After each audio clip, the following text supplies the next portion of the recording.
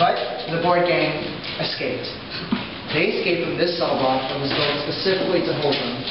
And the way they did it was, their secret weapon was their, first of all, their charm and their charisma, and also their intelligence. So they ended up making friends with the guards, to the point where the guards would actually pull in a metal card table right in the middle of where you guys are standing, and let the, let the gang out of the cells and let them play cards with each other.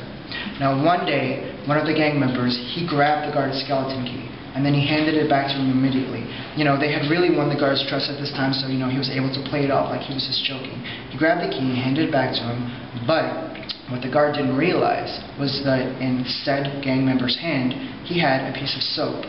And he pressed down so hard on this piece of soap that it actually created an imprint of the key's intricate design on the piece of soap. So, you know, a skeleton key would have opened all four of these cells, right? So after the guard left that night, they took that imprint of the piece of soap, and then they ripped off a piece of metal from the same card table, and they managed to fashion a brand new working skeleton key. And so they would actually let themselves out at night, timing the guards' hourly checks, and when they knew, when they knew the guards weren't going to be in this section of the jail for a while, they'd let themselves out at night. And you see this window over here? See how it's got three layers of bars? Well, two of those layers of bars are post-Boyd game escape. Hmm. Okay? So at the time, there's only one layer of bars, so they must have had access to another half cell plate or something like that. I don't quite know what they used to get out the second time, but they would let themselves out at night, using the same card table to reach the window, resourceful. They cut a hole into the bars, and they escaped. Again, now, as you can imagine, this was a huge news story. Um, you know, a little bit of trivia. It was the subject of the very first CBC news broadcast in Toronto, hosted by Lorne Greene, who, you know, before he rose to fame on Bonanza, he was known in Canada as the voice of doom because he was like a newscaster with a deep, you know, serious voice. So, you know, it was a huge news story. The Boyd gang escapes again, and there were all these rumors that they had been seen, you know, like in different parts of the province or like hopping a train to the prairies or something like that, right? People's imaginations ran wild. But the fact of the matter is, the reality is, uh, you know, the gang had sort of, so to speak, shot themselves in the foot when they, they murdered the policeman, because now the public was a lot less willing to cover for them. I mean, there are all these stories during their previous escape attempt that probably not true, you never know, that they would be seen up next to someone's cottage at a cottage of their own, uh, you know, hanging $100 bills out to dry after they'd gone swimming in the lake.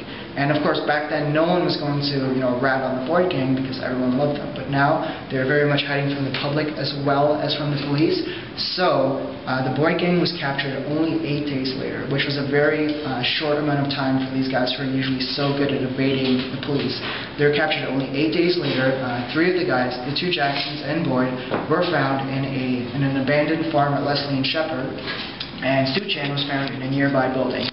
They're tired, they're hungry, they're cold, they're brought back here, and, um, you know, the superintendent at the time was fired because it was his bright idea to put these four mastermind criminals in cells next to each other where they could conspire with each other just by shouting from one cell to the next.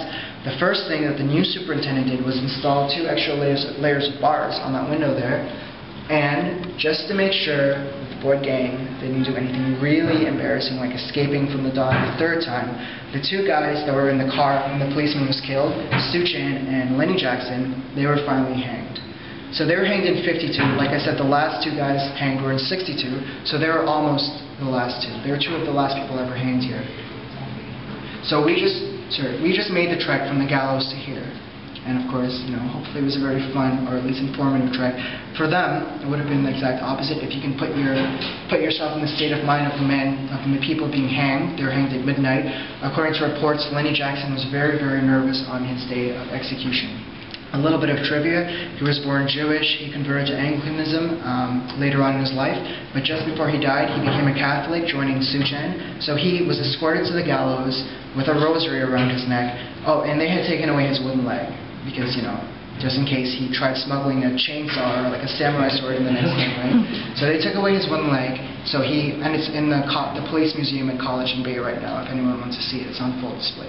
So he hobbled to the gallows on one leg, on one foot, escorted by guards. He said nothing. But Suchan, he was supposedly the violent one. He was the slightly unhinged one. Uh, he was the one that actually shot uh, the police officer. He was very uh, confident, almost cocky on his day of execution. I mean, he joked with the guards, he casually read from Tolstoy's War and Peace, and when he finally got to the gallows and met the executioner, he joked. He said, you know, is it true that hanging is really as quick and as painless as everyone says it is? And ironically for him, it really wasn't. He took 44 minutes to die.